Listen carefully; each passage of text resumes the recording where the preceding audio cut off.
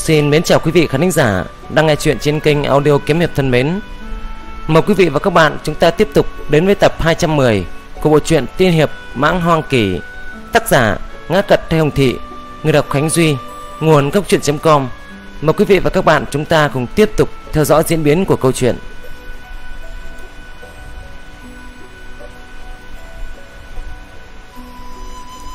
Lại nói, lúc bấy giờ, Kỳ Linh càng ngày càng tiến đến gần thi thể của vị chúa tể bên phía đạo minh, dần dần xâm nhập vào trong ảo thuật. tràng cảnh chân thật chung quanh dần hư ảo, bắt đầu ảnh hưởng đến kỷ Linh. Tuy kỷ Linh đột phá đến đạo quân nhị bộ, thanh hoa vũ khí chi lực lại càng tinh thuần, hồn phách tự nhiên mạnh hơn đạo quân tứ bộ một đoạn. Cộng thêm vào đó, tâm lực của hắn tới biên giới tầng thứ sáu, ngăn cản ảo thuật rất mạnh. Lợi hại, thật lợi hại. Kỳ Linh tiến tới từng bước, chung quanh chân thật lại càng thêm hư ảo, mà chẳng cảnh hư ảo lại càng trở lên chân thật. Thậm chí bên cạnh xuất hiện một ít mỹ nữ, xuất hiện chút ít bảo vật hiếm quý, lại xuất hiện ma đầu tà ác. Ta vậy mà không nhìn thấy chân thật ư? Kỳ Linh vô cùng thanh tỉnh, hắn không nhìn thấy động quật bên cạnh đâu nữa. Chung quanh hắn là chẳng cảnh ảo cảnh hư ảo, một đám mỹ nữ xinh đẹp đang rót rượu, dâng món ngon. Phá! Đạo tâm Kỳ Linh không thể dung chuyển, cưỡng ép phá vỡ ảo cảnh. Hắn tiến lên từng bước, ảo cảnh lại ập tới, hơn nữa lại càng thêm khó chơi. Nếu như chém giết trong chân thật, ảo cảnh như thế có thể ảnh hưởng tới ta trong tích tắc. Trong tích tắc này, trong chém giết sinh tử, sợ rằng ta đã bị đánh bại, thậm chí lấy mất tính mạng của ta rồi. Kỳ Linh âm thầm kinh hãi, rất đáng sợ. May mắn chúa tể áo trắng đã chết, chính mình trầm mê trong ảo cảnh lâu như vậy, thế nhưng ảnh hưởng cũng không lớn. Chỉ cần cuối cùng tỉnh lại là được. Chủ nhân, đúng là chủ nhân mà. tơ vô cơ nhìn thấy Kỳ Linh từng bước một đi về phía thi thể của chúa tể chết đi kia, nàng vô cùng kích động. Thực sự là lợi hại mà, còn đi xa hơn cả ta. Cách thi thể của chúa tể càng gần, ảo thuật của ta tới đây đã là cực hạn rồi. Lại tiến lên, chỉ sợ ngay cả ý chí cũng mơ hồ luôn. Tô vô cơ rất rõ ràng, ảo cảnh không có chủ nhân điều khiển là có thể trầm mê, nhưng hồn phách ý thức phải bảo trì thanh tỉnh là cơ bản nhất. Nếu như ý thức cơ bản cũng mơ hồ, sẽ không biết mình là ai, như vậy tiếp theo sẽ lâm vào ảo cảnh vĩnh viễn, vô cùng nguy hiểm. Kỳ Linh chống cự ảo cảnh, càng ngày càng cố sức. Phá, phá! Kỳ Linh tốn hao 2 giây mới cưỡng ép phá vỡ ảo cảnh. Trong mắt hắn mang theo rung động và sợ hãi. Hai hô hấp ư, cũng không biết chết bao nhiêu lần. Lại tiến lên, ta đúng là muốn xem ảo thuật còn có thể mạnh tới cỡ nào đây. Đạo tâm Kỳ Linh vẫn không bị ảnh hưởng, hồn phách ý thức của hắn rất thanh tỉnh. Mặc dù lâm vào ảo cảnh, dãy giụa càng ngày càng khó, thế nhưng hắn vẫn biết rõ hắn là Kỳ Linh. Hắn đến từ tam giới, ý thức thanh tỉnh nên có thể tiếp tục đi tới. Nếu ý thức có một tia mơ hồ, liền lui về phía sau. Bành! Lúc Kỳ Linh tiến thêm một bước lần nữa, ảo cảnh xung quanh lập tức nổ vang. Thế giới ảo cảnh là chim hót hoa nở. Trong sân cốc xinh đẹp có thôn xóm, trong thôn xóm có một ít thôn dân. Kỳ Linh hiện tại chính là thanh niên thôn dân bình thường, dùng đốn củi sống qua ngày. Sao? Ảo cảnh này... Kỳ Linh mặc áo vải đầy miếng vá, hắn khiêng gỗ, hắn nghi hoặc nhìn ra bốn phía. Xa xa có một suối nước, suối nước thanh tịnh, ẩn ẩn có cá nhỏ du động. Hắn có thể nhìn rõ từng chiêu, từng miếng vảy cá. Bên cạnh có cây trúc, lá trúc còn tỏa ra mùi hương ngào ngạt. Dưới chân có cỏ dại, trên lá cây có giọt sương, giọt sương óng ánh. Nhị báo, nhị báo. Xa xa có một lão phụ hô to. Mẫu thân của ta ư? Trong nội tâm kỷ Linh có suy nghĩ như thế. Ảo cánh, đúng là quá đáng sợ mà, giống như đầu thai chuyển thế vậy. kỷ Linh rất khiếp sợ nói. Hơn nữa, quá là chân thực, khắp nơi cũng không có gì là hư ảo cả. Thôn dân tươi cười, con cá du động, khí tức trong thiên địa, tất cả đều là chân thật như vậy ư? Nó quá sống với thế giới chân thật. Phá cho ta! Ý chí Kỳ Linh đang gào thét, ầm ầm. Thế giới ảo cảnh chấn động, lão phụ xa xa còn có chút thôn dân, con chó trong thôn tất cả đều trở lên vặn vẹo. Phá vỡ! Ý chí Kiều Linh gào thét lần nữa. Phá! Kiều Linh dùng ý chí gào thét. Tuy ý chí thanh tỉnh của hắn đang bị thế giới ảo cảnh trói buộc, hắn cũng không ngừng dãy giụa. Ầm ầm. Rốt cục, hắn cũng phá vỡ thế giới ảo cảnh này. Ta phải tốn 10 hô hấp mới có thể phá vỡ ảo cảnh ngư Kỳ Linh vô cùng rung động. Hắn có năng lực chống cự ảo cảnh rất mạnh. Trong đạo quân nghịch thiên Cũng tính là cường giả hàng đầu.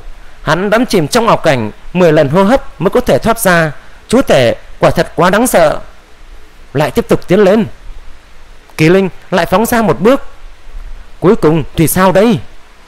Kỳ Linh nếm thử thời gian, Uống cạn một chung trà, Phát hiện uy lực ảo cảnh đi tới cuối cùng, Lại tới gần cũng không gia tăng thêm nữa. Thậm chí Kỳ Linh đi thẳng tới gần thi thể chúa tể, Một trượng, đã bị trận pháp cấm chế ngăn cản.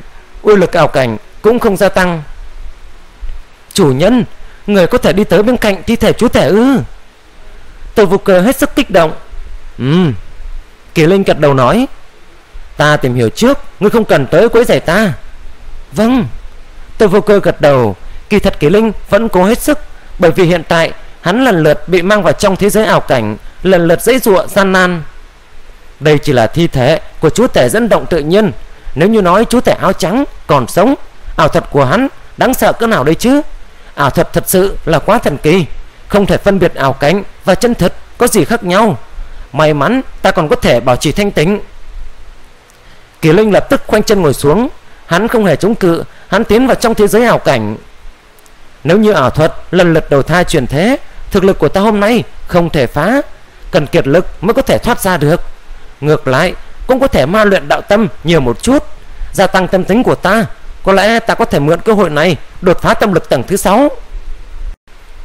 Kỳ Linh cũng không biết Vị chúa tể áo trắng này Tu hành quang minh nhất đạo trung cực, Liền ngộ ra vạn thế kiếp. Bằng vào thứ này mới thành tựu vĩnh hằng. Hắn vừa đột phá trở thành vĩnh hằng Lại chính là chúa tể. Bởi vì lúc hắn là đạo quân, Chính là đạo quân nghịch thiên Dung hợp hai đầu đạo mạnh nhất, Ngộ ra đạo trung cực của hắn là vạn thế kiếp. Từ đó, hắn trở thành chúa tể đáng sợ. Sau khi hắn chết, Vĩnh hằng thần thể tự nhiên ẩn chứa một ít uy năng của vạn thế kiếp. Nếu hắn còn sống, Dẫn động ảo thuật, Kỳ Linh sẽ hoàn toàn trầm mê trong thế giới ảo cảnh vạn thế kiếp này, Quên mất đi chính mình, Vĩnh viễn không thể tự kiềm chế. Hiện tại chỉ là một phần nhỏ uy năng mà thôi. Trong ảo cảnh vạn thế kiếp, Kỳ Linh đắm chìm ở trong đó. Kỳ Linh thanh hài tử của ngư dân. Lúc hắn thiếu niên, Theo phụ thân ra biển bắt cá, Về sau thích một nữ tử nhà giàu, Gia tộc đối phương không nhìn chúng hắn. Phụ thân lại mất mạng lúc ra biển.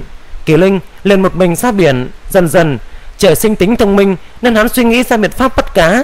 Càng dần dần tích lũy, tiền mua thuyền lớn. Bằng kỹ thuật bắt cá, nên càng phát đạt lại trở thành đại nhân vật trong ngư dân. Dưới trướng có hơn trăm thuyền lớn, nữ tử gia tộc nhà giàu chủ động đầu nhập vào hắn. Đây là thế giới không có tu hành, tuy trải qua cuộc sống phàm tục. Lúc thiếu niên vô cùng túng quẫn, lúc thanh niên dần dần phát đạt, trung niên trở thành hào kiệt một phương.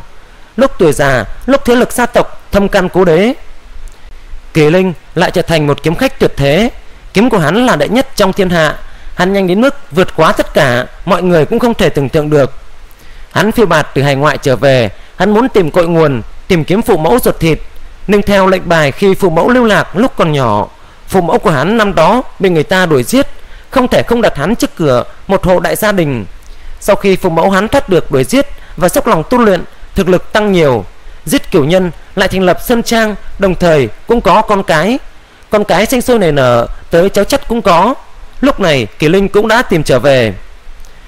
Kỳ Linh lại trở thành thầy thuốc học đồ Dốc lòng đi theo thầy thuốc học y. Trải qua thời gian phi thường bình thản Thầy thuốc gả con gái cho hắn Y thuật của hắn cũng vượt qua sư phụ.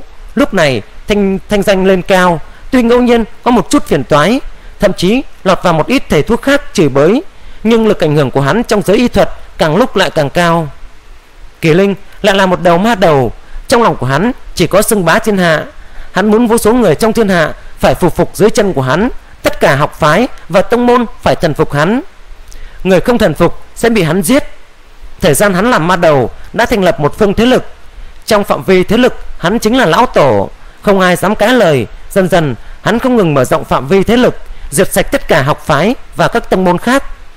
Khí diễm càng ngày càng hung hăng, càng quấy, thực lực cũng càng thêm cường hoành, trở thành bá chủ tuyệt đối trong vô số ma đầu. Trong trận chiến cuối cùng đánh chết ba đại tông sư của chính đạo từ nay về sau, Cả thiên hạ đều sống dưới ma uy của hắn, Không ai dám cãi lời. Cả đời, lại cả đời, Cứ mỗi một đời Kỳ Linh trải qua cuộc sống bình tĩnh, Mặc dù làm ma đầu, Làm nhân vật tà ác, Cũng có thể trở thành vô địch, làm tà ma đứng đầu, không ai làm gì được cả. Chính đạo ư, tà đạo ư, phàm tục ư, hay thân hào nông thôn, đầu lĩnh thổ phỉ, nông phu, ít xuất hiện trong tông môn, nhưng trên thực tế là đệ nhất nhân môn phái ư. Tú tài học sách đỗ trọng nguyên sao? Hay tú tài gặp hồ ly quỷ quái. Những thế giới ảo cảnh này không khác gì đầu thai chuyển thế. Kỳ linh thực sự, kỳ thật sở dĩ sinh ra những ảo cảnh này là vì vạn thế kiếp, căn cứ vào trí nhớ của kỳ linh mà tạo thành ảo cảnh ngẫu nhiên. Dù sao, như tú tài trạng nguyên các loại chỉ có tam giới mới có.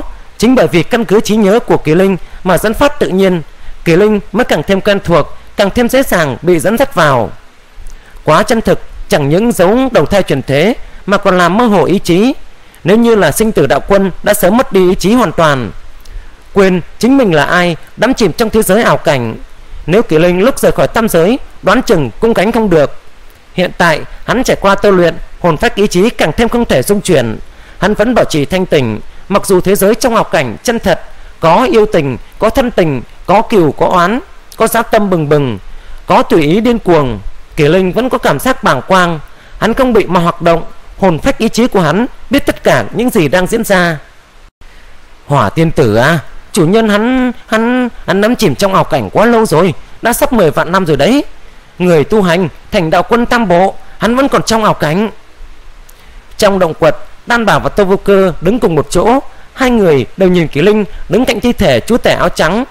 Tô vô cơ cũng nhìn kỳ linh. Chủ nhân trước kia đi thẳng tới bên cạnh thi thể của chúa tể, hiển nhiên thế giới ảo cảnh không làm gì được hắn rồi. Người cũng không cần lo lắng đâu. Không có việc gì cả. Chờ một chút đi. Nếu quả thật cảm thấy không đúng, ta sẽ đi qua mang chủ nhân, ra ngoài là được mà. Tô vô cơ cũng đột phá. Nàng vốn đi mị hoặc ảo thuật, khống chế nhất đạo. Chúa tể áo trắng, có thành tựu ảo thuật cực cao, làm cho tô vô cơ có xúc động, làm cho nàng có nhiều ý nghĩ hơn về phi tiên thánh quân truyền thừa. Nàng tiến bộ càng nhanh, bằng vào pháp bảo thời gian gia trì, thời gian tu hành của nàng gần ngàn vạn năm rốt cục một lần, hành động đột phá đến đạo quân tam bộ. Trên thực tế, nếu không có ảo thuật của chú tể áo trắng xúc động, nàng chỉ sợ hao phí thời gian gấp 10 lần như thế. Đan bảo thì vẫn là đạo quân nhị bộ, những dấu vết chiến đấu trên vách đá trợ giúp hắn rất nhỏ. Dù sao, cảnh giới của hắn hơi thấp, ý cảnh đạo của chú tể không phải hắn có thể hiểu được. Na á đạo quân, hung hỏa đạo quân đều là đạo quân tứ bộ. Hai người bọn họ vẫn cuồng nhiệt tìm hiểu ý cảnh của đạo của chú tể. Những thứ này có trợ giúp hai người rất lớn. Ta bước vào đạo quân tam bộ, hồn phách không ngừng cường đại. Bằng vào thực lực ảo thuật của ta, miễn cưỡng có thể chống cự, ảo thuật sót lại từ thi thể chú tể. Tô vô cơ nói, sao? Bỗng nhiên, lông uy đan bảo rung động. Chủ nhân! Tô vô cơ cũng kinh ngạc, bởi vì kỳ linh đang ngồi khoanh chân trước mặt. Bỗng nhiên, có khí tức huyền diệu bộc phát, giống như có gì đó được sinh ra đời. Cả đời rồi lại cả đời hắn không ngừng trải nghiệm trong đó, yêu hận tình kiều. Mỗi lần đều có kết cục tốt, đều mưu toan lôi kéo kỳ linh ở lại thế giới này, làm cho hắn đắm chìm trong thế giới này. Kỳ linh đến cuối cùng mới dãy dụa ra khỏi thế giới chế buộc. Đảo mắt đã qua mấy ngàn thế kỷ. Đại sư, hồng trần vạn trượng, ta đã mệt mỏi. Ta nguyện tấn thân vào không môn. Kính xin đại sư thu lưu. Một gã thanh niên áo trắng quỳ xuống trước mặt một lão tăng. Đúng vào lúc này ầm ầm cả thế giới rung động lắc lư, thanh niên áo trắng khẽ giật mình. Hắn đứng lên, hắn vẫn ngắm nhìn chung quanh, nhìn lão tăng, nhìn vách núi chung quanh. Ánh mắt của hắn như quan sát cả thế giới này vậy. Cả đời, rồi lại cả đời chia luân hồi, nên chấm dứt thôi. Thanh niên áo trắng nói ầm ầm cả thế giới hoàn toàn sụp đổ, thế giới hào cảnh tán loạn. Kỳ linh nhìn rõ mọi thứ chung quanh. Hắn vẫn ngồi trong động quật như cũ, cách hắn một trượng chính là thi thể của chú tể áo trắng. Tuy thi thể chú tể vẫn tỏa ra uy năng như cũ, nhưng không thể ảnh hưởng tới kỷ linh được nữa, bởi vì thức hải trong mi tâm kỷ linh đang phát sinh lột xác. Oanh! Tâm lực cường đại bộc phát ra ngoài, hư ảo sự thật giao hội, hình thành một điểm giống như một phương thế giới hỗn độn là do một viên thế giới chi tâm thai nghén sinh ra. Điểm này vừa ra đời giống như một hạt cát trong một thế giới. Trong một điểm này đã có khai thiên tích địa bắt đầu sinh ra thế giới đây chính là tâm chi thế giới, tâm lực tầng thứ sáu, thế giới. Kỳ thực tâm tình của kỳ linh đã sớm sập tới cánh cửa tầng thứ sáu. Chỉ cần có đầy đủ tích lũy là có thể đột phá nước chảy thành sông. Nếu như không có lần gặp gỡ này, chỉ sợ hắn cần trải qua rất nhiều chuyện, xem qua rất nhiều chuyện mới mẻ mới có thể đột phá được. Mà lần này, hắn không ngừng luân hồi cả đời trong vạn thế kiếp, giúp cho kỳ linh nhìn thấu tất cả. Tâm lực vượt qua cánh cửa đặt tới tầng thứ sáu từ đó, hư ảo ảnh hưởng đến sự thật, mở ra tâm trí thế giới. Tâm trí thế giới, đối với người tu hành tâm lực mà nói, giống như kim đan không gian hỗn độn của luyện khí lưu. Mở ra tâm trí thế giới mới thực sự là người tu hành tâm lực. Người tu hành tâm lực có số lượng ít ỏi kỳ linh gặp chắc trở trong tam giới. Tâm tình không thể bảo là bất phàm, ngộ tính không thể bảo là không cao. Hắn ở trong vạn thế kiếp mới có thể đột phá được. Từ nay về sau, ta cũng là người tu hành tâm lực luyện khí lưu, tu luyện pháp lực, am hiểu bí thuật, pháp bảo. Thần ma luyện thế, tu luyện thần thế am hiểu thần thông, binh khí cận thân chém giết. Tâm lực lưu, kiến tạo tâm lực thế giới, am hiểu tâm lực, quỷ thần khó lường, trực tiếp công kích nội tâm địch nhân, nhất niệm giết địch. Kỷ linh khẽ gật đầu, luyện khí lưu, thần ma luyện thể, bọn họ truy cầu cảnh giới đạo càng ngày càng cao, còn tâm lực lưu thì lại khác. Tâm lực lưu truy cầu không phải đạo cường đại mà là đạo ổn định. Nó cần tâm trí thế giới ổn định đầy đủ. Như thế mới có thể không ngừng khuếch trương. Tâm trí thế giới càng thêm rộng lớn. Khi đó đại biểu, người tu hành tâm lực càng ngày càng đáng sợ. Một ít người tu hành biên giới hợp đạo, tâm trí thế giới của bọn họ thậm chí có thể so với một cương vực. Bên trong động quật, kỳ linh xoay người rời đi. Hắn đi tới trước thi thể chú tể áo trắng. Chủ nhân! Tôi vô cơ mở miệng gọi. Chủ nhân, vừa rồi đã xảy ra chuyện gì vậy? Đan bảo hiếu kỳ hỏi thăm, hai người bọn họ đều cảm nhận được khí tức đặc thù. Kỳ linh gật đầu, ta đã mở ra tâm trí thế giới. Sao? Tâm trí thế giới ư? Tôi vô cơ đan bảo đều kinh hãi. Tâm trí thế giới ư? Na á đạo quân, hung hỏa đạo quân đang đứng xa xa phát hiện có khí tức khác thường, liền tỉnh táo trở lại, nghe được kỳ linh nói cũng khiếp sợ. Mở tâm trí thế giới mới thực sự là người tu hành tâm lực, mà người tu hành tâm lực quá hiếm thấy một gã đạo quân nghịch thiên cường đại, còn kiêm tu tâm lực lưu, tuyệt đối sẽ làm cho vô số đạo quân kính sợ.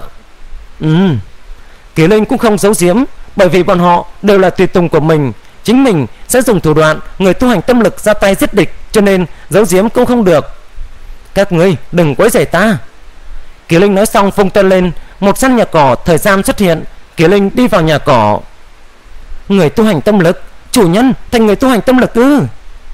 Tôi vô cơ vô cùng rung động. Chủ nhân cũng quá lợi hại rồi. Đan bảo không hỏa đạo quân, na á đạo quân đều khó có thể tin. Bọn họ nào biết rằng thời điểm tại tam giới, tâm lực của kỳ linh còn mạnh hơn kiếm đạo không ít. Từ đó làm cho đám người bồ đề hoài nghi mình có nhìn lầm đồ đệ hay không?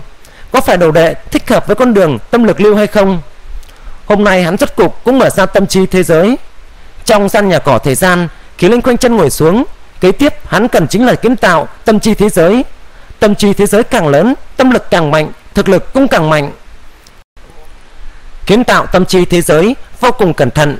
Trước kia, tới gần thi thể chúa tể áo trắng, cho nên lúc nào cũng bị ảo cảnh ảnh hưởng. Hắn đương nhiên phải đi mới không bị ảnh hưởng. Về sau chậm rãi kiến tạo thế giới. Tâm trí thế giới. Kỳ linh dùng ý niệm quan sát tâm trí thế giới của mình. Tâm trí thế giới chỉ là một điểm trong mi tâm giống như một hạt cát, một thế giới. Điểm này ẩn chứa không gian vô cùng rộng lớn. Có khả năng nó còn lớn hơn cả đại mạc vực. Tuy người tu hành tâm lực, biên giới hợp đạo, tâm trí thế giới của bọn họ có phạm vi tương đương với một cương vực. Người tu hành tâm lực, thực lực rất mạnh ư, xem tâm trí thế giới là biết rõ. Nếu như bằng vào thế giới cảnh viên mãn, cảm ngộ đạo, kiến tạo tâm trí thế giới có thể so sánh với thế giới hỗn độn.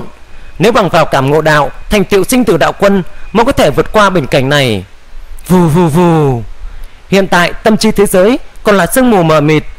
Mỡ một giọng nói vang vọng trong thế giới này. Lúc này, sương mù mờ mịt biến mất, đại địa hình thành và kéo dài khắp bốn phương tám hướng.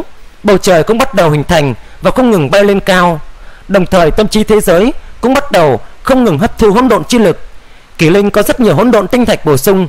Nếu như hấp thu hỗn độn chi lực bên ngoài, tốc độ quá chậm chỉ cần đột phá, cần thiết hỗn độn chi lực đối với kỳ linh mà nói, không coi vào đâu cả. Lúc này, thế giới không ngừng mở rộng. Đường kính của nó đạt tới 10 tỷ dặm. Thế giới vô cùng rộng lớn. Nó có thể sánh ngang một thế giới hỗn độn. Trong thế giới khắp nơi tràn ngập kiếm khí kiếm khí mênh mông cuồn cuộn, đây là thế giới của kiếm. Mở lại. Kỳ Linh trực tiếp dùng kiếm đạo trung cực tầng thứ nhất, làm hạch tâm bắt đầu nếm thử, tiếp tục xây dựng thêm tâm trí thế giới. Oanh! Thiên địa biến sắc. Trung ương đại địa của tâm trí thế giới bắt đầu nhô lên cao cao. Nó là ngọn núi cao nhất trong thế giới. Ngọn núi này giống như một thanh kiếm. Nó sừng sững tại hạch tâm của thế giới. Một thanh cự kiếm tản ra ý cảnh kiếm đạo trung cực, cũng là biểu hiện tầng ngoài của kiếm đạo trung cực. Lúc này, nó cao 10 tỷ dặm, uy năng lan ra khắp tâm trí thế giới. Tâm trí thế giới điên cuồng khuếch trương, gấp trăm lần, nghìn lần, vạn lần. Biên độ khuếch trương làm người ta phải kinh hãi xem ra, kiếm đạo trung cực của ta phi thường thích hợp với kiến tạo tâm trí thế giới. Một phương thế giới này chính là đỉnh của cự kiếm. Một đạo nhân ảnh hiện ra chính là kỷ linh áo trắng. Đây là ý thức của kỷ linh hội tụ mà thành. Dùng kiếm đạo trung cực làm hạch tâm hình thành thế giới phi thường ổn định, khuếch trường cũng vững vàng hơn. Ừ rốt cục đến cực hạn rồi. Kỳ linh đình chỉ khuếch trương thế giới vô cùng mênh mông, nó lớn tới mức tầm mắt kỳ linh không nhìn thấy hết được lại đến nào? Kỳ linh bắt đầu khuếch trương lần cuối cùng, dùng kiếm đạo trung cực tầng thứ hai làm bổn nguyên của thế giới này. Tâm trí thế giới vốn lớn tới mức dọa người, lại tiếp tục bắt đầu không ngừng khuếch trương. Bầu trời càng ngày càng cao, mặt đất cũng càng ngày càng dày.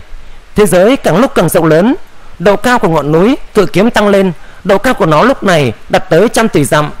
Kỳ linh không ngừng tiêu hao hỗn độn tinh thạch với tốc độ cao mới sinh ra tâm trí thế giới. May mắn đây cũng không phải là thế giới chân thật, kỳ linh không quan tâm tiêu hao hỗn độn tinh thạch. Nếu như thế giới chân thật khổng lồ như thế ra đời, mặc dù 100 triệu phương hỗn độn tinh thạch cũng không đủ. Qua thời gian uống cạn một chung trà, tất cả đã thỏa đáng. Kỳ linh lại chỉ vào một nơi khác, một trụ trời hình thành. Kỳ linh với một ý niệm vạn vật hình thành trong thế giới này. Ngay sau đó, phía chân trời của thế giới xuất hiện năm cột trụ, phân biệt ẩn chứa tích huyết kiếm ý, vô ảnh kiếm ý, âm dương kiếm ý duy tâm kiếm ý và thiên băng kiếm ý. Bảo bối đều xuất hiện đi. Kỳ linh cười, nhìn phương xa, chỉ thấy cả vùng đất bắt đầu xuất hiện hỗn độn linh dịch. Lúc này, nó hình thành một hồ nước. Kỳ linh tươi cười nhìn xem, hắn biết rõ những thứ này là giả, thực sự không phải là hỗn độn linh dịch chân thật. Người tu hành tâm lực, trong truyền thuyết tu hành đến trung cực, tâm trí thế giới sẽ biến thành thế giới chân thật. Lúc đó, bảo vật trong tâm trí thế giới cũng là bảo vật chân thật hình thành một kiện vĩnh hằng pháp báo. Vĩnh hằng pháp báo có thể xuất ra sử dụng, hình thành một ít kỳ chân chân tài cũng là chân thật cả. Kỳ linh nói nhỏ, đây là mục tiêu của tâm lực lưu, cho tới nay vẫn không có ai có thể làm được, bởi vì nó quá không thể tưởng tượng. Dùng kiếm đạo trung cực tầng thứ hai làm hạch tâm, hình thành tâm trí thế giới, lại có thể mở ra tâm trí thế giới, diện tích một cương vực. Kỳ thực cũng làm cho kỳ linh vô cùng khiếp sợ và kích động bởi vì đây là tâm lực của người tu hành tâm lực bên giới hợp đạo bình thường mới có thể làm được. Kỳ thật ngẫm lại cũng đúng, tâm trí thế giới cần đạo, không cầu uy lực bao nhiêu, cầu chính là ổn định, càng ổn định lại càng tốt, càng ổn định thế giới mới lại càng lớn. Như rất nhiều đạo quân nghịch thiên, có lẽ đạo của bọn họ rất cuồng mãnh nên không thể dùng kiến tạo thế giới, giống như một thùng nước chỉ có thể chứa bao nhiêu nước quyết định bởi vật liệu, làm cho nó lớn bao nhiêu một phương thế giới muốn đầy đủ ổn định, không thể có sở đoạn. Rất nhiều người tu hành tâm lực, hành tẩu tứ phương, bọn họ muốn làm cho tâm lực của mình ổn định. Kỳ linh lúc trước ngộ ra năm đầu đạo mạnh nhất, dùng luân hồi chi ý kết hợp với nhau, cho nên phi thường ổn định. Tùy năm đạo mạnh nhất kết hợp với nhau, tạo thành kiếm đạo trung cực, đây mới thực sự là viên mãn, là ổn định. Kiếm đạo trung cực là mạnh nhất, cũng là ổn định nhất. Nó là kiếm đạo trung cực, cũng không có chỗ thiếu hụt gì. Chỉ bằng kiếm đạo trung cực tầng thứ hai đã có tâm lực bằng với người tu hành tâm lực biên giới hợp đạo. Kiếm đạo trung cực tầng thứ ba, chỉ sợ sánh bằng đạo quân mạnh nhất trong người tu hành tâm lực. Người tu hành tâm lực biên giới hợp đạo cũng có mạnh có yếu, như phó công chủ, phô nhất đạo quân, yếu hơn cung chủ tâm lực cung một mảnh lớn. Kỳ linh thầm nghĩ, như người tu hành tâm lực như vũ trường đạo quân, hắn là đạo quân mạnh nhất trong vô tận công vực này. Lúc trước kỳ linh bị bắt làm tù binh và bị đưa tới tinh thần đảo trên tinh thần đảo, có 99 loại truyền thừa. Sắp xếp đệ nhất chính là truyền thừa tâm lực lưu của vũ thường đạo quân sáng chế. Vũ thường đạo quân cũng không phải là vô nhất đạo quân có thể so sánh được. Vũ thường đạo quân chính là đạo quân đứng đầu khắp vô tận cương vực. Cần biết, cho dù hiện tại công chủ tâm lực cung của mang ngai quốc cũng không được sắp xếp là đệ nhất. Người tu hành tâm lực với nhau cũng có khác nhau rất lớn. Kiếm đạo trung cực của ta vô cùng viên mãn có lẽ tầng thứ ba tiếp cận cấp độ của vũ thần đạo quân rồi. Kỳ linh rất vui mừng bởi vì vũ thần đạo quân truyền thừa trong quá khứ vô dụng với mình. Hiện tại, mình có thể sử dụng những bí thuật tâm lực kia rồi. Thực lực của tâm lực lưu cùng cấp độ với phu nhất đạo quân, Cho dù kém cũng không kém quá nhiều. Xem như đạo quân tâm lực lưu cũng đứng trong top cấp thứ hai. Cận chiến có kiếm thuật, Hôm nay dùng bắc hằng kiếm, Hắn có thể đứng ở đỉnh phong trong đạo quân cấp thứ hai. Cả hai kết hợp với nhau Kỳ Linh rất rõ ràng, Đạo quân nghịch thiên có thể đối phó mình đã rất ít rồi. Thời gian trôi qua, Kỳ Linh trở thành người tu hành tâm lực, Cho nên học tập những bí thuật tâm lực Mà Vũ Thường Đạo Quân đã lưu lại. Tâm trí thế giới của hắn có kiếm đạo trung cực làm hạch tâm, Cho nên tâm trí thế giới, thai ngén, nuôi dưỡng tâm lực có tính tiến công, thuần túy vô cùng cường đại.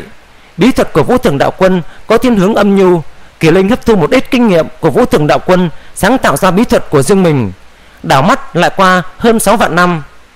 Lúc này, có tiếng cười vang lên kiều trần giáo chủ hăng hái đi tới. Kỳ linh tăng tiềm tu trong nhà cỏ, thời gian cũng mở to mắt. Ha bắc minh, ngươi tiềm tu ở đây sao? Thực sự là xin lỗi mà. Tổ tiên không có giữ lại cơ duyên gì trong ngươi, làm cho ngươi trở lâu như vậy. Kiều trần giáo chủ chế nhạo nói, xem ra, ngươi thu hoạch không nhỏ. Kiều linh ra khỏi nhà cỏ thời gian tổ tiên cũng là thủy đạo, cũng dùng côn pháp thu hoạch thật lớn.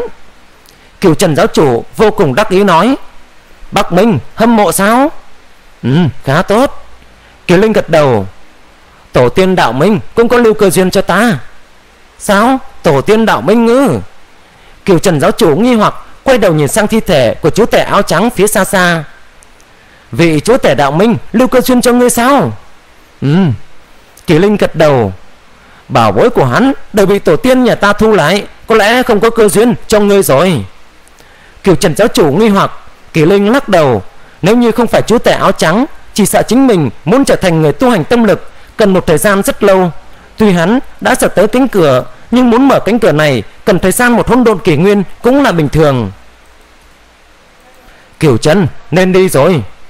Kỳ Linh vung tay lên Tâu vô cơ, đan bảo, na á đạo quân Hông hỏa đạo quân đi tới Và bị Kỳ Linh thu lại. Ừ. Kiều Trần giáo chủ cũng không hỏi cơ duyên của Kỳ Linh. Hắn quay đầu nhìn sang trầm côn màu đỏ Vũ trụ chi bảo cung kính nói Tiền bối kính xin tiến chúng ta rời đi. Âm âm âm. Trong trường côn có một đạo hào quang màu đỏ bay ra ngoài Hóa thành thiếu niên đầu chọc áo đen.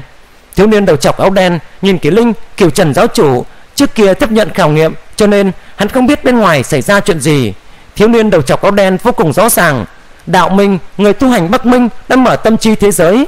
Điều này cũng làm cho hắn thầm than. Đạo minh, đúng là có vô số thiên tài. Ừ ta tiến các ngươi rời đi. Thiếu niên đầu chọc áo đen nói xong, liền vung tay lên. Một đạo chấn động bao phủ kỳ linh và kiều trần giáo chủ. Kỳ linh và kiều trần giáo chủ lập tức biến mất bên trong động quật. Thiếu niên đầu chọc áo đen trong động quật lắc đầu lẩm bẩm. Tuy xích thủy có đạo rất tương tự chủ nhân cũng dùng côn pháp, nhưng tính tình cay nghiệt chút ít, không phải người ta thích. Hơn nữa đến nay, còn không có bước vào đạo quân tứ bộ. Tính tính toán toán, chờ một chút vậy. Với tư cách vũ trụ chi bảo, cho nên nó có đủ kiên nhẫn. Chúng vĩnh hằng bất diệt chân chính, cho nên tự nhiên có kiên nhẫn 10 phần, chờ đợi chủ nhân thà thiếu chứ không ẩu. Vù. Kỳ linh và kiểu trần giáo chủ, cảm giác trước mắt hơi biến hóa, cũng rơi vào hư không hắc ám. Đi ra kỳ linh kiều trần giáo chủ vui mừng đi ra bên ngoài. Hai người bọn họ đều cảm giác được cảm giác pháp thân của mình. Cuối cùng cũng cảm ứng được pháp thân rồi và nguyên thần thứ hai nữa. Nội tâm kỳ linh thả lòng một chút, chỉ cần cảm ứng được pháp thân và nguyên thần thứ hai sẽ có vật tham chiếu. Hắn liền nhíu mày. Tại sao lại xa xôi như vậy chứ? Chính mình và pháp thân cách nhau phi thường xa xôi. Chính mình từng đi qua biên giới vô tận cương vực, đông kỳ vực đông kỳ vực, cách thiên thương vực đã rất xa, nhưng không cách nào so sánh với hiện tại. Ta cảm giác khoảng cách của mình với pháp thân vượt qua cả khoảng cách vô tận cương vực kia. Bởi vì khoảng cách quá mức xa xôi, cảm ứng rất mơ hồ, kỳ linh lại khẳng định điểm này. Khoảng cách có lẽ đã vượt qua đường kính lớn nhất của vô tận cương vực. Sao? Chúng ta sắc mặt kiều trần giáo chủ bên cạnh cũng biến hóa. Kiều trần, sao vậy? Kỳ linh nhìn về phía hắn chúng ta đang ở trong ngu tinh hải. Sắc mặt cửu trần giáo chủ khó coi nói. Hơn nữa là nơi cực kỳ sâu trong ngu tinh hải. Sao? Nơi cực sâu ư? Sắc mặt kỷ linh cũng biến hóa. Nơi cực sâu của ngu tinh hải ư? Ngu tinh hải là đệ nhất tuyệt địa. Chỉ cần độ lớn của ngu tinh hải đã vượt qua vô tận cương vực, từng biết được. Hơn nữa trải qua trải nghiệm của động quật lúc trước làm cho kỷ linh biết được. Ngu tinh hải trên thực tế là chiến trường thượng cổ tồn tại cấp độ chúa tể chết ở nơi này không biết là bao nhiêu. Nơi này có cấm chế nguy hiểm trùng trùng điệp điệp. Rất nhiều cấm chế nguy hiểm, chỉ sợ lúc trước đều nhắm vào cấp bậc chúa tể, cho nên chúng cực kỳ nguy hiểm. Người xác định chúng ta đang ở sâu trong ngô tinh hải phải không? Kiều linh liền hỏi, hắn nhìn phía trước đều là hư không hắc ám, nơi xa xa còn có một ít tràng cảnh mơ hồ. Ta xác định bởi vì ta đã đi qua biên giới của ngô tinh hải rồi. Kiều trần giáo chủ nói ta từng du lịch ở tiết bên ngoài kia rồi. Nơi này còn xa hơn ở tiết bên ngoài, chỗ ta đã từng đi qua. Dựa vào khoảng cách pháp thân của ta mà phán đoán, chúng ta cách tiết bên ngoài ngô tinh hải hơn phần nửa khoảng cách vô tận cương vực, cho nên nơi này xem là cực sâu. Kỳ linh nghe xong cũng lạnh cả người. Ngô tinh hải, đối với vĩnh hằng đế quân mà nói, đều là tuyệt địa. Đối với chúa tể mà nói, phải cẩn thận từng chút một, là nơi tùy thời có thể mất mạng. Đạo quân nghịch thiên cũng không dám xâm nhập quá sâu xâm nhập hơn phân nửa khoảng cách vô tận cương vực ư. Đây tuyệt đối xem như là nơi cực sâu. Bên trong hư không hắc ám, hai đạo thân ảnh đứng trong hư không, nội tâm hai người mắt lạnh, muốn bình yên rời khỏi ngô tinh hải sao là rất khó khăn. Chúng ta còn hy vọng. Kiều trần giáo chủ hiểu ngô tinh hải hơn so với kiều linh rất nhiều, trịnh trọng nói.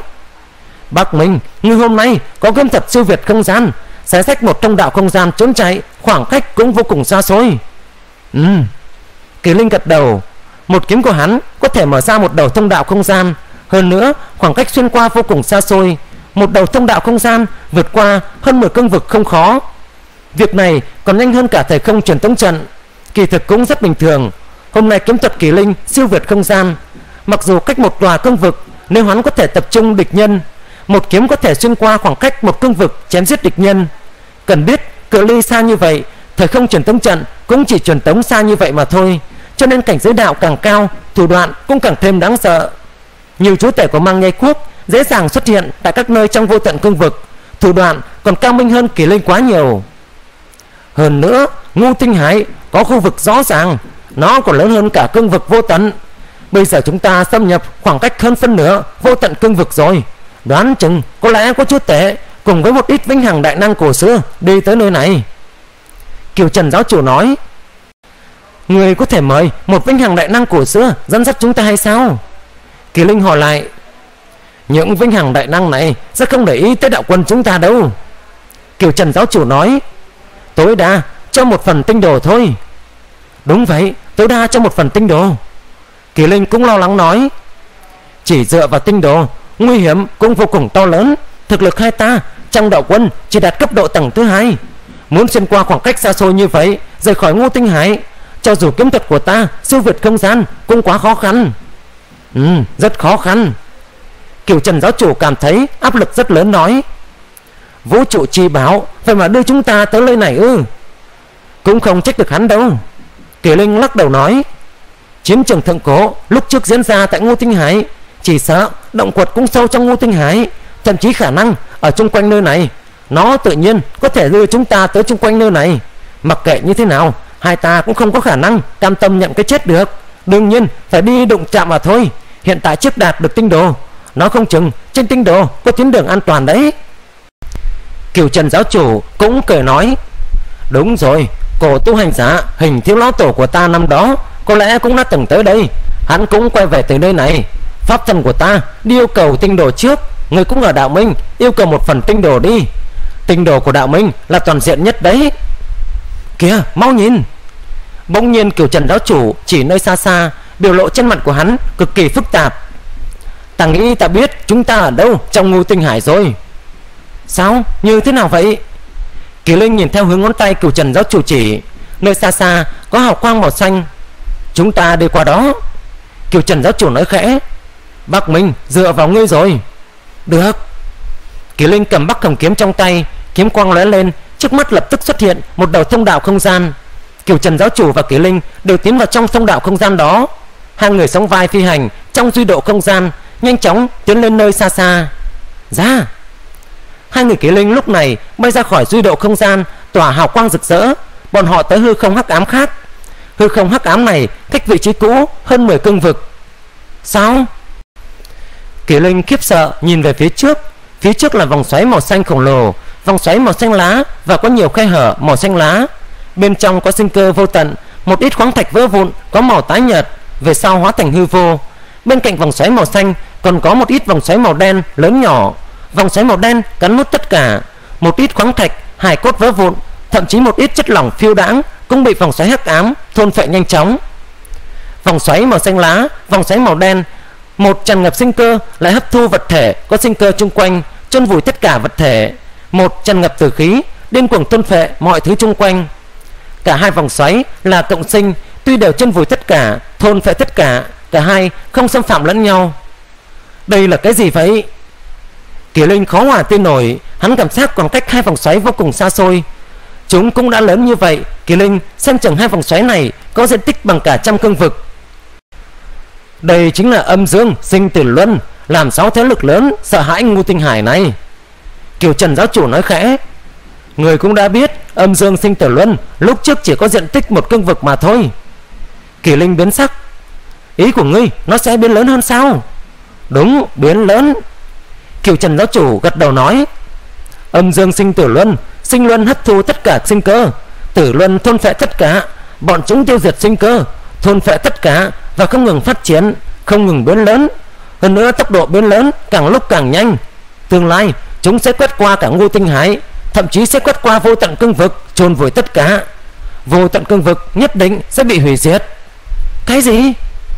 Kỳ Linh khó có thể tin vô tận cương vực nhất định bị hủy diệt ư?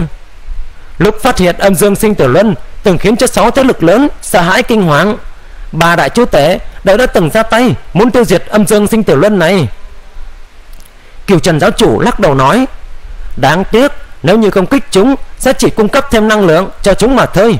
Chúng sẽ biến khổng lồ. Căn bản, không cách nào xúc phạm Tới một chúng một tia Các đế quân tầng cao nhất của vô tận cương vực Và các đạo quân nghịch thiên đều biết việc này. Kiều Trần giáo chủ nhìn về phía Kỳ Linh nói, Với thực lực của ngươi hiện tại Tại đạo minh sẽ biết tin tức này nhanh thôi. Kỳ Linh nhìn âm dương sinh tử luân, Không ngừng khuếch trương ngư diệt sạch vô tận cương vực sao? Đây là hỗn độn vô tận thai ngén ra. Không phải người tu hành có khả năng kháng cự được.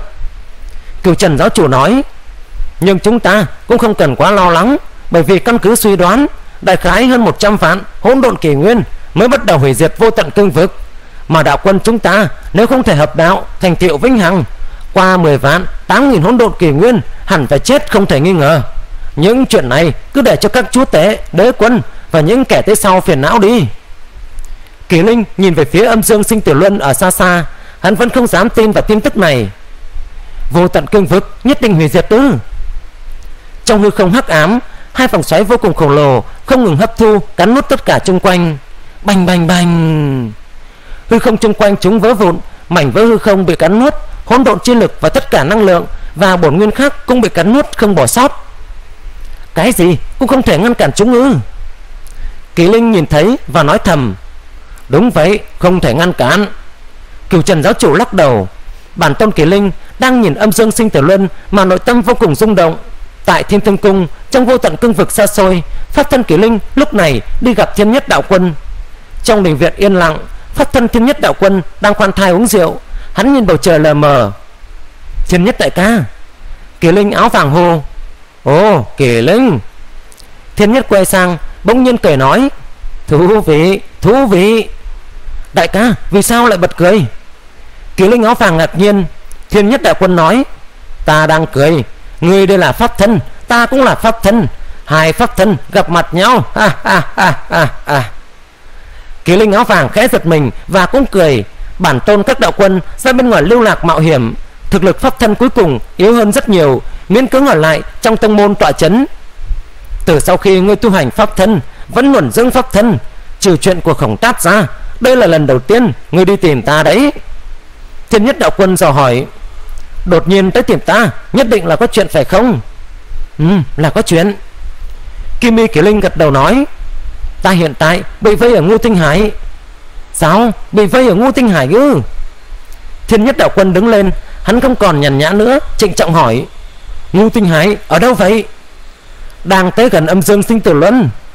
Kỳ linh nói, sắc mặt thiên nhất đạo quân lúc này càng khó coi. Ngươi Người nhà Tại sao? Ngươi lại chạy tới nơi đó làm gì? Ta cũng chỉ từng nghe nói qua Âm dương sinh tử luân thôi. Còn là nghe lão hiếu đề cập tới. Nghe nói âm dương sinh tử luân Là đáng sợ nhất trong ngũ tinh hải. Ngay cả chúa tể vĩ đại Cũng không thể làm gì được nó đâu. Nếu như chúa tể cường ngạnh Xông vào trong âm dương sinh tử luân Sẽ bị hủy diệt. Chúng vẫn còn dần dần biến lớn. Nghe nói trong tương lai xa xôi, Chúng sẽ quét qua ngô tinh hải, Thậm chí quét qua cả vô tận cương vực, Hủy diệt vô tận cương vực. Kỳ Linh gật đầu, Ta cũng nghe nói. Thế nhưng đó cũng là chuyện thật lâu, Chỉ sợ chúng ta không còn sống mà nhìn thấy đâu. Thiên nhất đạo quân trịnh trọng nói, Âm dương sinh tiểu luân, Chỗ đó nằm ở nơi cực sâu trong ngô tinh hải, Cho dù đạo quân nghịch thiên nhất Cũng không dám xâm nhập tới nơi đó. Tại sao ngươi dám đi vậy? Ta cũng không muốn. Kỳ Linh lắc đầu nói, Cơ duyên xảo hợp bị truyền tống tới nơi đó thôi. Truyền tống ngư? Thiên nhất đạo quân lắc đầu thở dài. Thiên nhất đại ca, Ngươi có tinh đồ của Ngưu Tinh Hải hay không? Kỳ Linh hỏi. Có một phần. Thiên nhất đạo quân gật đầu nói. Ta sớm đặt tới biên giới hợp đạo, Tất cả cơ hội có thể đề cao khả năng hợp đạo thành công Đều tận lực đi liều. Ta cũng chuẩn bị tinh đồ Ngưu Tinh Hải. Trên tinh đồ cũng có đánh dấu âm dương sinh tử luân nó quá xa xôi, Muốn từ biên giới Ngô Tinh Hải đi tới nơi đó, Khoảng cách bằng vào một nửa vô tận cương vực này. Người chờ một chút, Ta đi chép một phần. Thiên nhất đạo quân vung tay lên, Pháp lực bắt đầu khởi động, Lập tức trên không trung kết hợp ra một tinh đồ cực lớn. Tinh đồ bên trên có đại lượng đồ án đánh dấu. Kiều Linh yên lặng nhìn. Thiên nhất đạo quân mất thời gian uống cạn một chung trà, Mới ghi chép ra tinh đồ nguyên vẹn. Kiều Linh cũng ghi nhớ. Phần tinh đồ này của ta lấy được từ đạo minh. Thiên nhất đạo quân nói Muốn càng kỹ càng hơn sẽ rất khó. Như vậy là đủ rồi. Kỳ Linh gật đầu Nội tâm Kỳ Linh rất nặng nề. Một đường phải cẩn thận nhớ chưa? Thiên nhất đạo quân càng lo lắng Hắn xem ra Kỳ Linh còn sống đi ra Khả năng thực rất thấp. Sâu trong ngôi tinh hải Ở biên giới âm dương sinh tử luân xa xa Kỳ Linh, Kiều Trần giáo chủ Đứng sóng vai nhau trong hư không hắc ám. Bọn họ nhìn chằm chằm vào quái vật khổng lồ Đang hủy diệt mọi thứ. Đạt được tinh đồ rồi. Kỳ Linh nói, Pháp thân của ta đang cầu kiến hình thiếu lão tổ, Tin tưởng sẽ đạt được tinh đồ rất nhanh thôi. Kiều Trần giáo chủ cũng nói, Thế nào? Ngươi đạt được tinh đồ như thế nào rồi? Rất khó. Kiều Linh lắc đầu nói, Ta so sánh qua, Tuyến đường an toàn nhất cũng nhất định phải thông qua. 62 chỗ nguy hiểm, Với thực lực hai ta Còn sống thông qua không cao hơn một thành đâu. Sao? 62 chỗ ư? Kiều Trần giáo chủ cũng nhíu mày lắc đầu nói, Bác Minh à Kiếm thuật của ngươi siêu việt không gian, Rất nhiều khu vực có thể trực tiếp né tránh qua.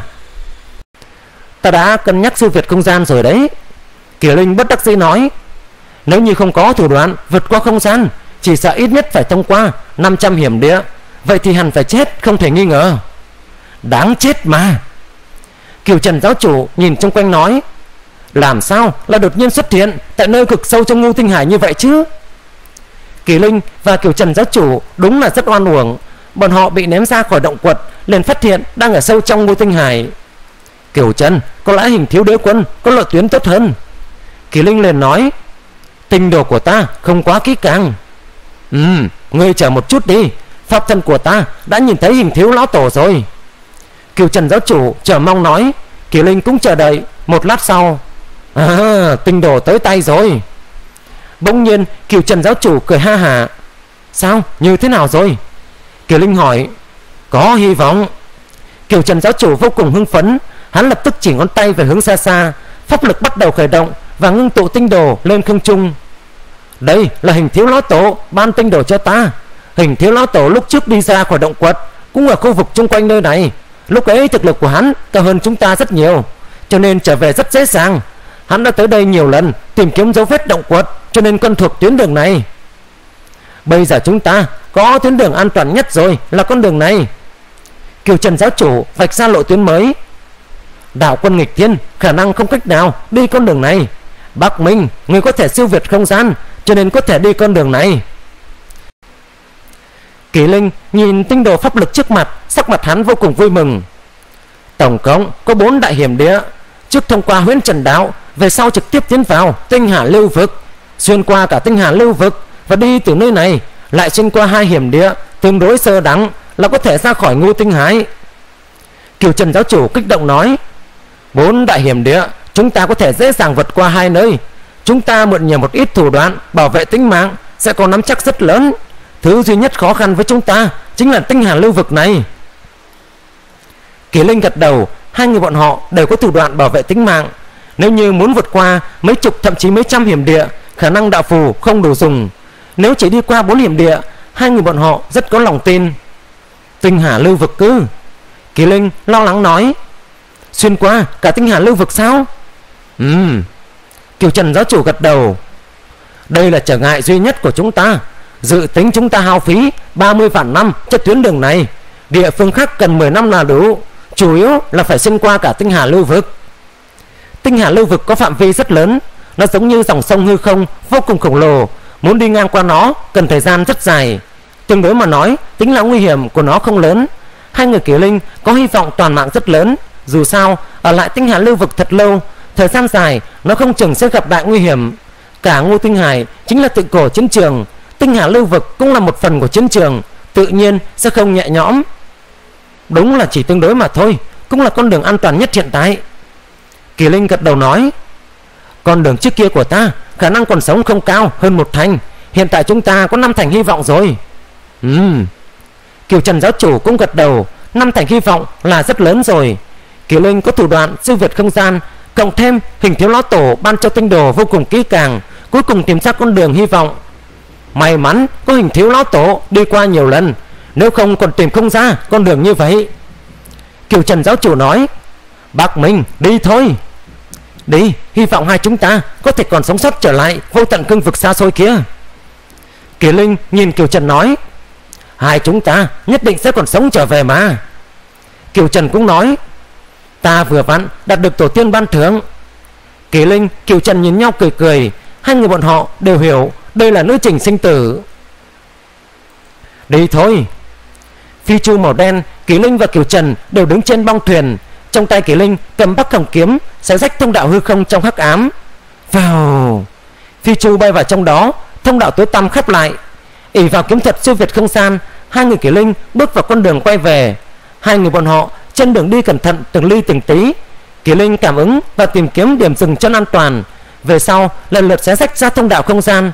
Ngẫu nhiên còn phải dựa vào phi chu màu đen, né tránh qua một ít khu vực đặc biệt nửa tháng sau, âm âm, hư không hỗn loạn, vô số mảnh vỡ chấn vụn, vô số nguy cơ ẩn nấp ở trong đó. Một chiếc phi chu màu đen dừng trong hư không hỗn loạn và thừa nhận mảnh vỡ trùng kích. Kỳ linh và kiều trần giáo chủ động nhìn về phía trước. Trong hư không hỗn loạn phía trước có con đường phiến đá xanh dài ngàn vạn dặm. Con đường đá xanh kéo dài tới cuối tầm mắt. Trong mảnh vỡ hư không hắc ám lại có một thông đạo đẹp và an toàn như vậy vừa nhìn, đã có cảm giác được phiến đá xanh này ẩn chứa nguy hiểm. Huyễn trần đạo, kiều trần giáo chủ trịnh trọng nói, chúng ta phải đi về, cần thông qua bốn đại hiểm địa. Nguy hiểm sắp xếp đầu tiên là tinh hà lưu vực. Tinh hà lưu vực quá lớn quá lớn. Muốn xuyên qua cả tinh hà lưu vực, cần đại khái 30 vạn năm. Nguy hiểm sắp xếp thứ hai chính là huyễn trần đạo. Hai hiểm địa cuối cùng nằm bên ngoài ngô tinh hải. Với thực lực của hai ta, có thể vượt qua cũng không đáng kể kiều linh nghe vậy cũng gật đầu. Huyễn trần đạo, nó là hiểm địa cực kỳ nguy hiểm, sâu trong ngô tinh hải.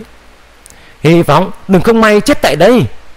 Kiều trần giáo chủ nhìn về phía kiều linh nói, đi thôi. Ừ. Kiều linh gật đầu. Vèo. Phi chu màu đen lập tức bay lê trên con đường đá xanh này. Chỉ có thông qua huyễn trần đạo mới có thể đi tới tinh hà lưu vực nhanh nhất.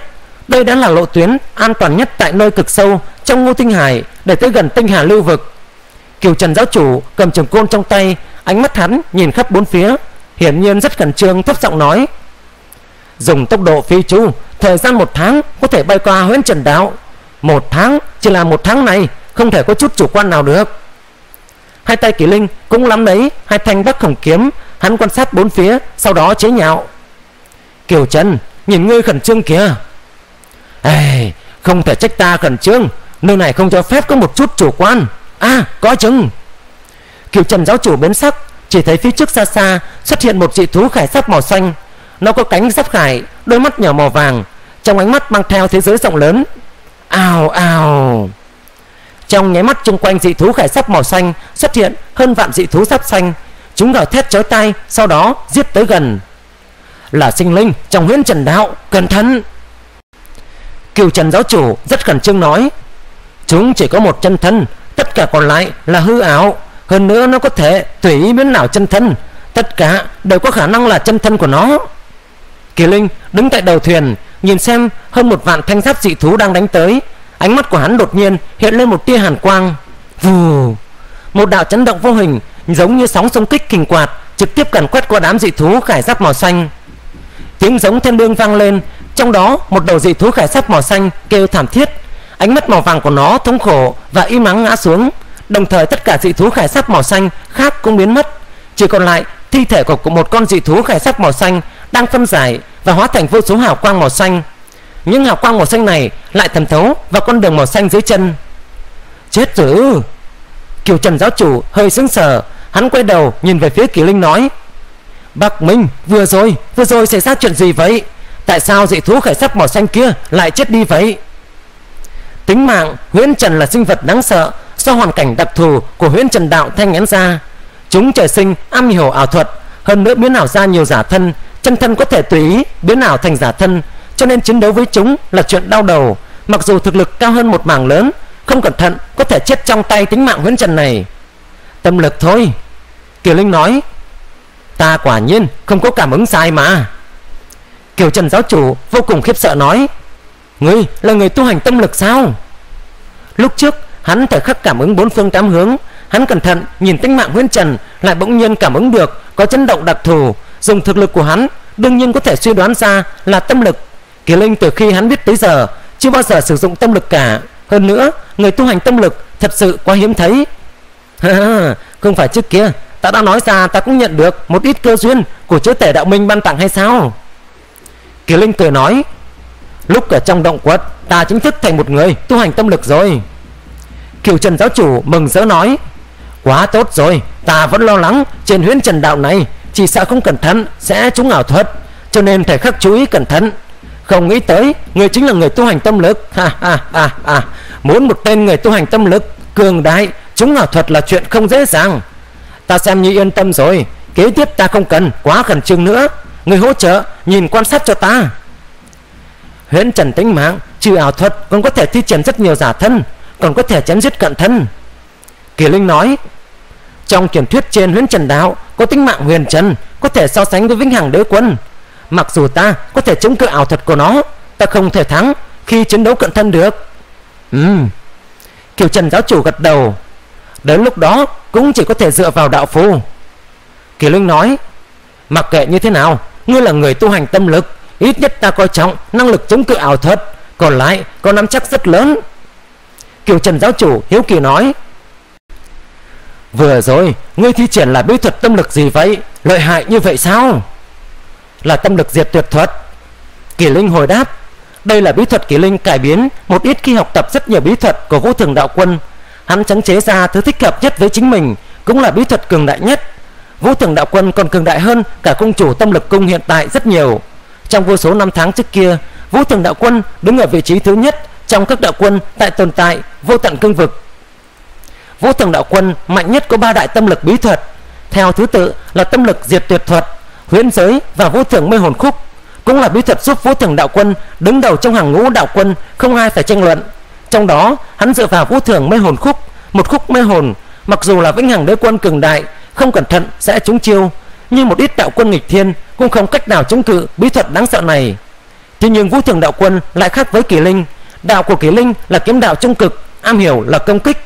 Vũ thường đạo quân thiên hướng âm nhu, hắn cũng cực kỳ am hiểu, nhạc khúc mới có thể sáng chế ra, vũ thường mê hồn khúc đáng sợ đó. Cả hai đi phương hướng khác nhau, tự nhiên phong cách cũng khác nhau. Kỳ linh chỉ học san long từ vũ thường mê hồn khúc. Hắn miễn cưỡng học được hai ba thành huyễn giới, nhưng tâm lực đại diệt tuyệt có tính công kích rất mạnh. Kỳ linh học được lại còn sửa chữa thích hợp với chính mình, cho nên uy năng còn mạnh hơn nữa. Tâm lực như kiếm, một kiếm ra, diệt sạch còn phách chân linh của địch nhân, cực kỳ bá đạo. Nếu địch nhân ngạnh kháng, như vậy thủ đoạn tâm lực của kỳ linh cũng ảnh hưởng rất yếu lên địch nhân. Nếu như vũ thường đạo quân am hiểu nhiều phương diện, uy hiếp mới càng lớn.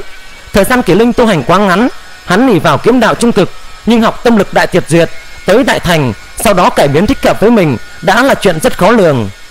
Ồ nghe cũng rất dã man bá đạo. Kiều Trần giáo chủ bất đắc dĩ nói Ta còn tưởng rằng ta được lão tổ ban thưởng Có thể đánh bại được ngươi. Bây giờ xem ra ta không phải đối thủ của ngươi nữa rồi. Ngươi bây giờ thật không phải đối thủ của ta đâu. Kỳ Linh cũng gật đầu nói ừ, Tiểu tử ngươi thật là Kiều Trần giáo chủ trừng mắt nói không biết khiêm tốn chút nào cả. Cứ chờ đấy Chờ ta thành đạo quân tứ bộ. Hừm, Ta lần này sẽ rèn luyện trong động quật đã có đốn ngộ. Tin tưởng đột phá đến đạo quân tứ bộ cũng không xa đâu. Đến lúc đó lại cho người biết lợi hại. Kẹt tới bình cảnh Bị vây khốn mấy hỗn độn kỷ nguyên Cũng thường có. Yên tâm đi ta sẽ không khi dễ người đâu. Kỳ Linh lại tiếp tục nói. Hai người nói xong đồng thời Không chế phi chu màu đen đi về phía trước. Cố tình nói nhảm như thế Là vì kiểu trần giáo chủ cũng hiểu, Bọn họ ít nhất sẽ không trúng ảo thuật, Chỉ cần ứng phó, cứng đối cứng mà thôi. Ngoại tộc kia, Lúc này ở xa xa, Có dị thú khải sắc màu xanh xuất hiện, Trong mắt màu vàng của nó đầy sắt cơ. Chết đi! Nó lập tức biến ảo, hơn vạn đạo thân ảnh, Tất cả đều giết tới. Kỳ Linh và Kiều Trần giáo chủ Không thể phân biệt rõ chân thân của nó.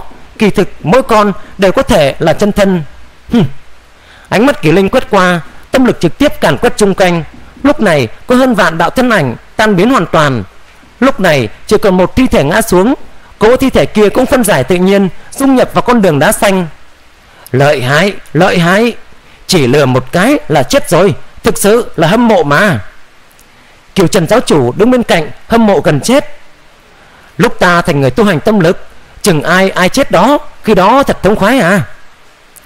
Người tu hành tâm lực đỉnh cao nhất Đáng sợ là đáng sợ ở đây. Bọn họ công kích yên lặng, Không một tiếng động và cực nhanh. Muốn ứng phó tâm lực công kích Không thể dựa vào pháp bảo lợi hại. Cho dù là vũ trụ chi bảo cũng là vô dụng. Dựa vào là đạo tâm, Dựa vào là hồn phách, Dựa vào là tâm tình. Những thứ này không thể phá vỡ. Mặc dù lực chiến đấu rất mạnh, Nhưng trên tâm cảnh Có chỗ thiếu hụt cũng phải chết trong tay Người tu hành tâm lực. Như ban đầu, Ở dị vũ trụ khởi nguyên chi địa Đám người ký linh, Khánh Hoàn Hoàng Tử, Phong Nhất Tâm Quân, Hỏa Tấn Thủy Quân Đi trên xiềng xích bổn nguyên. Tuy thực lực bọn họ đều tiếp cận nhau, Nhưng Hỏa Tấn lại có đạo tâm và tâm cảnh kém một mảng lớn. Cho nên, người tu hành tâm lực địa vị rất đặc thù. Mặc dù thực lực hơi thấp một chút, Nhưng đạo quân kèm đỉnh cấp Cũng phải dùng lễ đối đãi với bọn họ. Ngoại tộc, giết! Lại là một đầu dị thú khải sắc màu xanh xuất hiện. Nó biến ảo hơn vạn thân ảnh xuất hiện. Đây đều là thủ đoạn bản năng của chúng. Ánh mắt kỳ linh quét qua, Tâm lực càn quét Dường như một thanh kiếm trực tiếp càn quét mọi nơi Tất cả tan thành mây khói, Thi thể phân giải tiêu tán Kính thưa quý vị khán giả thân mến, Tập 210 của bộ truyện Mãng Hoang Kỳ tạm thời kết thúc tại đây. Chúc quý vị nghe chuyện vui vẻ. Xin chào và hẹn gặp lại.